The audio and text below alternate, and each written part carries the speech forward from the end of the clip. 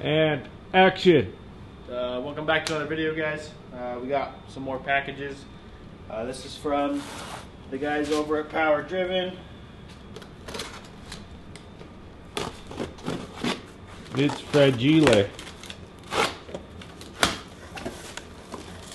Should be so. We got transmission fluid for when we do converter, and I believe Retainer for what? there's our retainer for our cam. Oh, We just gotta. We'll have to just drill and tap that. Looks like they give you two different threads sizes to pick it from. So we'll have to drill out the cam and put that in. And then here is the adjustable gear. So we can get rid of this piece of crap once it's on the first ship.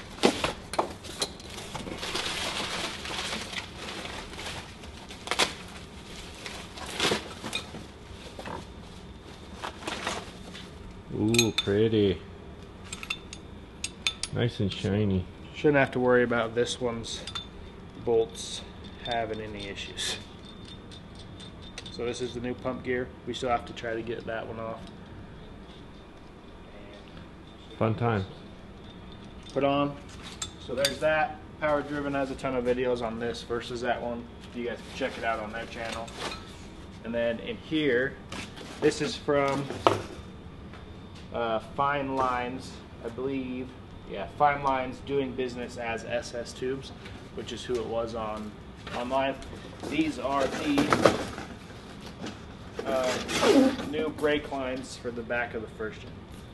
So if you guys need some of these, um, it was like I think SS tubes, and this is for 80 to 93 or 81 to 93 W250 four wheel drives. So we'll see how they fit, but that should Pre-bent, solve our should solve our brake issues on the back that we were having last week. So there's those that stuff. Um, the only thing I forgot to order is the billet. Oh, the freeze plugs. Yeah. Forgot Yeah. to order freeze plugs, so I'll order those this next week. But we're gonna try and get the P pump gear off, and I still have to go get a seal for this. Um, uh, Caliper or rotor. Yeah, still gotta go get a seal for that. I didn't get one this week, and then start buttoning up the brakes and hopefully get this gear off.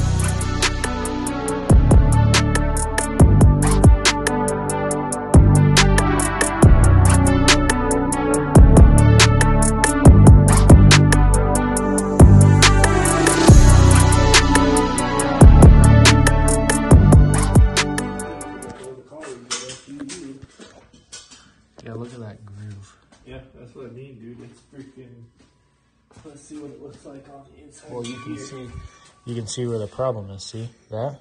Yep. See that gap, that crack? Do not buy this gear. It cracked as soon as you feed your bolts in. It cracks. Yeah, right there. Feel that. Yeah. You- Yeah, look at that crack. Well. There's your problem. So as soon as you try to pull this gear off, it cracks the metal in between, And then and then it concave. concaves. Yeah. Yeah, you can see it's bowed, Bowed out. bowed out. Right here. So, yeah, that Put is. that on the wall for a trophy. No wonder that didn't come off. Do not buy this P-Pump gear, folks.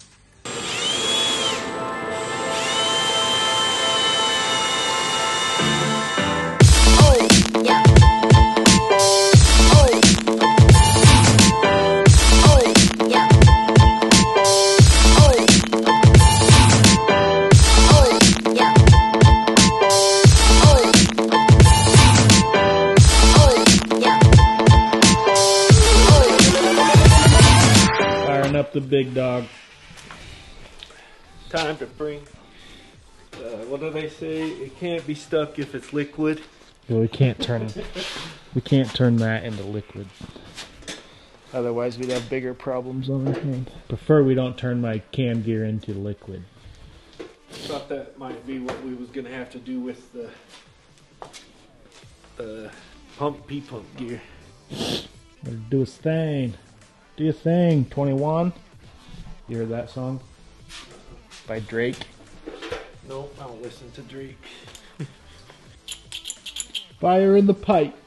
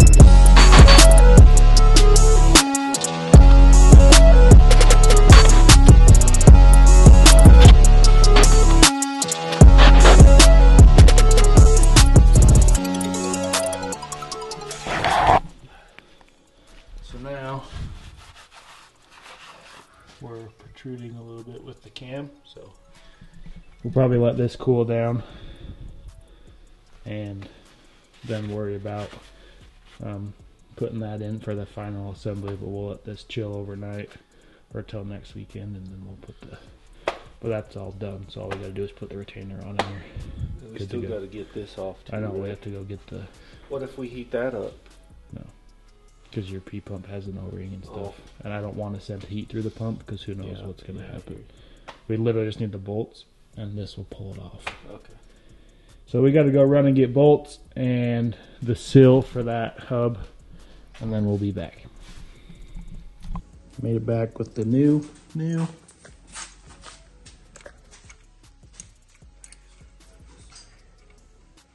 Good deal. Put them in our puller and get these puppies off.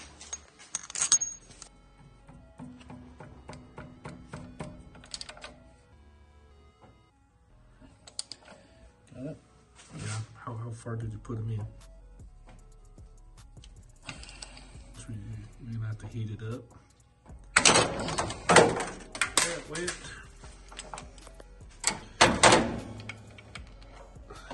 Luckily that popped off okay. I think that movement was just the keyway.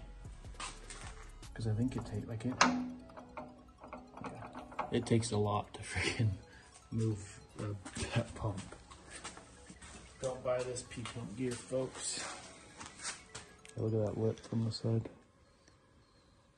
Yeah. Toast. Look at that. Game over. Smushed all on that. Yeah, mm. she's definitely done. So don't get this P pump gear, guys. That's why you get the power driven one. Trash. Okay. Now we got to put the seal in. The new. Uh, we got the new seal for that hub. We'll get this put in. Get started on some brake stuff probably. What did you just say? Put grease in your palm and work it in with your No, palm. before that. Oh, you ready for your you ready for your rectal exam? Prostate, whatever.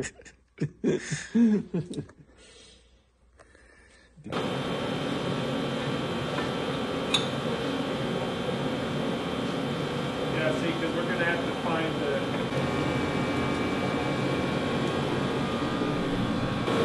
So like, so like these two are touching, right? So when you want to go advance, you just pull out. You only have to pull out two, Two at a and time. then- yeah. Like you have to loosen it all, but. So now we tighten these. Yeah, we'll tighten these. Torque them. 77 and then do because we need this to hold so that we can stop the gear from spinning so that we can all right there's the new action.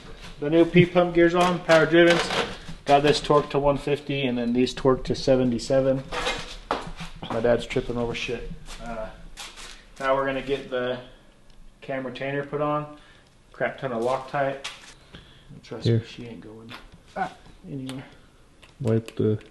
That's plenty for I health's sake. Well, I would. Here, wipe the excess off right here. I'd rather not risk it. Because I don't want my cam to be. Oh, it ain't going nowhere now. Be lucky to get that damn thing back out if we if you got to replace the cam. Or let me rephrase that: when you have to replace the cam.